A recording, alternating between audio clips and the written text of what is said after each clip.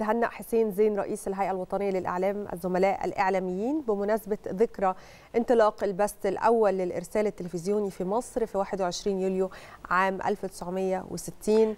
اليوم اللي انطلق فيه البث التلفزيوني لتبدأ معه رسالة إعلامية جادة وهادفة رسخت لقيم ومبادئ المجتمع المصري الأصيل من خلال جيل عمالقة ورواد العمل الإعلامي المصري الذين قدموا إعلاما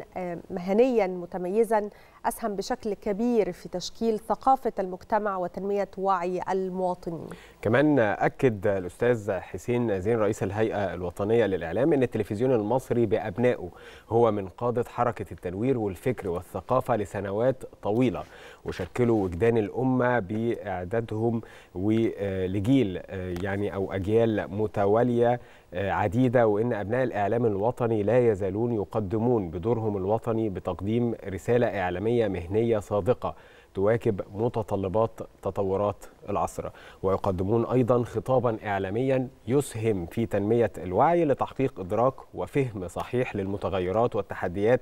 الجديدة التي طرأت على المشهد الإعلامي. وكيف استطاعت الدولة المصرية من خلال الإنجازات الغير مسبوقة التي تحققت والمشروعات القومية العملاقة من تخفيف حدة تلك الأزمات العالمية على حياة المواطن المصري.